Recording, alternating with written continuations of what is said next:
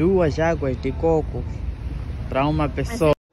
Olá pessoal, hoje eu mostrei esse vídeo que me chamou muita, é, mas muita, muita atenção mesmo, porque eu não estou conseguindo entender é, qual é a diferença é, deste coco com o coco é, cá em Moçambique, né?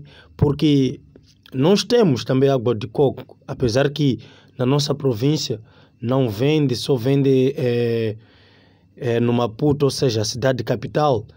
É, eu acho que não há nenhuma diferença é, onde o Aurélio vai colocar essa descrição a dizer de ela ama isto no Brasil.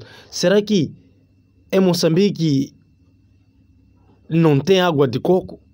Ou seja, será que em Moçambique ela não ama água de coco?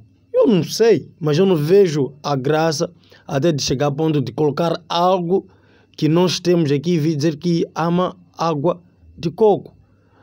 Mano, isso aqui. Epá, eu acho isso aqui é falsidade.